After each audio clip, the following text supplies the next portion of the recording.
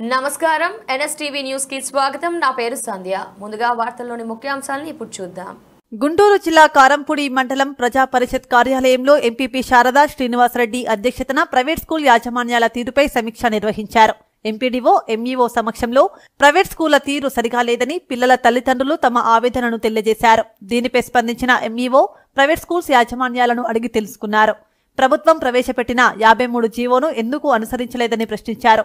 ప్రతి స్కూల్ యాజమాన్యం ప్రభుత్వం ప్రవేశపెట్టిన యాభై మూడు జీవో ప్రకారం ఒకటవ తరగతి నుండి ఐదవ తరగతి వరకు పిల్లలకు పదివేలు ఆరవ తరగతి నుండి పన్నెండవ తరగతి పిల్లలకు పన్నెండు వేలు ఫీజు తీసుకోవాలని బస్సు ఫీజు కిలోమీటర్కి ఒకటి పాయింట్ ఇరవై పైసలు తీసుకోవాలని చెప్పారు. కోవిడ్ నైన్టీన్ను అనుసరించి ప్రతి స్కూల్లో తినుబండారాలు బుక్స్ యూనిఫామ్ అమ్మరాదని చెప్పారు. నిబంధనలు పాటించని స్కూల్స్ పై చర్యలు తీసుకుంటామని తెలిపారు.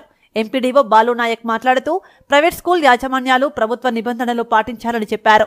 కోవిడ్ నైన్టీన్ సమయంలో స్కూల్ ఆవరణంలో శుభ్రత పాటించాలని ఫీజులు కట్టలేని స్తోమత లేని తల్లిదండ్రులకు ప్రభుత్వం ప్రవేశపెట్టిన యాభై మూడు జీవో ఉపయోగపడుతుందని తెలిపారు. ఎంపీపీ మేకల శారద శ్రీనివాసరెడ్డి మాట్లాడుతూ ప్రభుత్వం ప్రవేశపెట్టిన పథకాలను అమలు చేయాలని కారంపూడి మండలంలోని ప్రతి ప్రైవేట్ స్కూల్ యాజమాన్యానికి తెలిపారు. లేనిచో వారిపై చర్యలు తీసుకుంటామని తెలిపారు. ఈ కార్యక్రమంలో ప్రైవేట్ స్కూల్ యాజమాన్యాలు తల్లిదండ్రులు పాల్గొన్నారు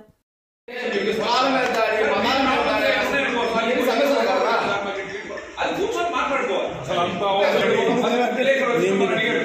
సార్ ఒక పదివేల రూపాయలు నా చెక్ కదా సార్. నేనేదో సర్వీస్ చేస్తున్నాను అన్నాడు అనుకోండి. ఐదు వేలు లేదు నాకు నాకు ఇప్పుడు ఈ ఈ కష్టం వల్ల నేను ఇవ్వలేకపోతున్నాను సార్. లేదు నాకు డీటెయిల్స్ కూడా ఇంత సార్ చేస్తున్నారని మీరు చెప్పగలగాలి అవునా? వాళ్ళు కన్విన్స్ చేసుకోవడం తప్పులేదు తప్పులేదు నేనే వాళ్ళే మిమ్మల్ని రుబాబు చేయట్లేదు కదా.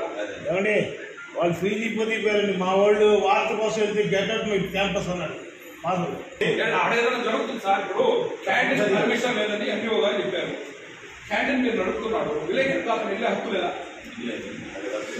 మీ రైల్వే రికమెండెడ్. మేము ఈ స్థాయిలో లెక్క చేయాల్సిన అవసరం లేదు. మే- అనే ఒక ఒక ఫీలింగ్లో వాళ్ళు ఉన్నారు ఇది ఎంతగానే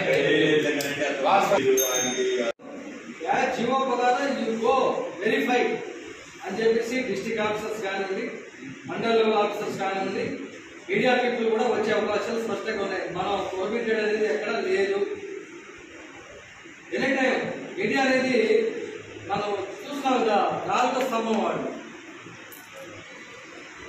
అలాంటి వాళ్ళు మనం ఇలా చేస్తే ఇలా వ్యతిరేకత వస్తుంది. మీరు వయసులో పెద్దవారు సో అనుకోవాల్సింది కాబట్టి ఇప్పుడు జరిగిపోయినవి ఒక ఎత్తు గతం కదా ఇప్పుడు జరగబోయేది ప్రభుత్వ నిబంధనలకు మాత్రమే మనం పనిచేయాల్సి ఉంటుంది. మేనేజ్మెంట్ అంటే ప్రజలకు మెప్పించాలి. మీడియాకి వ్యతిరేకమై పబ్లిక్ వ్యతిరేకమై ప్రజాప్రతినిధి వ్యతిరేకమై అందరికి వ్యతిరేకమైతే మనం ఎక్కడ ఉండకూడదు సార్ మాదిరిగా